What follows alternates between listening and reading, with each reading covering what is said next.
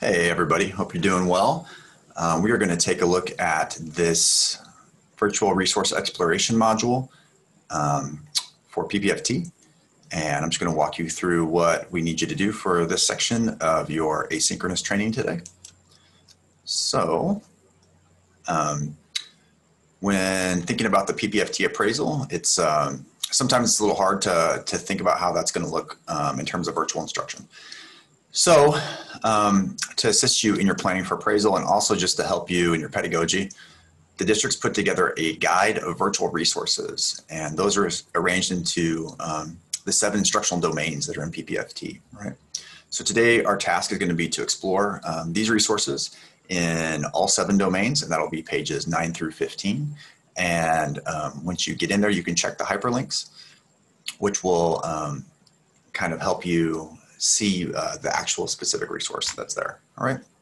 And what that does is it shows you essentially um, the type of things that you would need um, to get a three and the type of things that you would need to do to get a four. Right. So um, for example, and let's just kind of take a look at this document real quick together what you would do, what you're going to need to do is you'll go into this portion right here, which says uh, PPFT virtual instructional resource.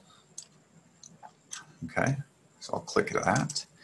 Once you get in, you're probably going to get a little, let's see here, a little sad frowny face is what usually pops up for me right there. Oh, sad frowny face. So go ahead and just click here.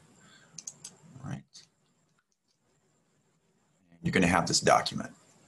Um, this wonderful document is,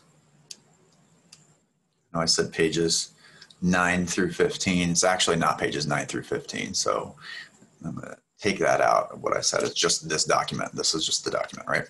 Um, but so let's say, for instance, um, instructional practice, student engagement. I want to know how to do, um, let's just say a think, pair, share, right? So what do I do for that uh, virtually?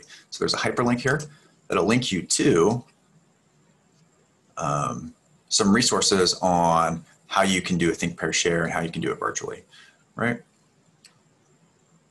Um, so pretty good resources actually that are that are in here. Um, Jigsaw, you know, this activity would be a four. So here you go. Here, here's a resource for Jigsaw. Okay. So what I want you to do is to um, actually go through and explore these resources and as you explore each domain in PPFT, um, remember we have the seven domains, right? So we have engagement, assessment and feedback, differentiation, critical thinking, problem solving. Then you have your routines, your expectations, and your and uh, uh, culture and climate in your classroom, right?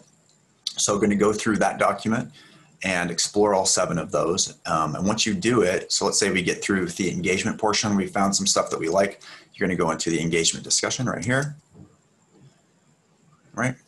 and you're going to answer the question what strategies from this document that was the document can you utilize to help improve both the virtual and in-person engagement in your classroom? And go ahead and hit reply and um, put in a strategy that you can use um, to help uh, improve the engagement in your classroom. And then once you've done that go ahead and go back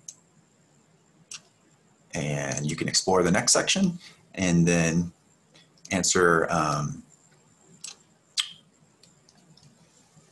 answer the, uh, the, the discussion for the next section. The next section is assessment and feedback. That is actually a link to a Padlet. You can go in and you can post on there um, what strategies from the, assess the assessment and feedback portion that you can utilize to uh, improve your instructional practice.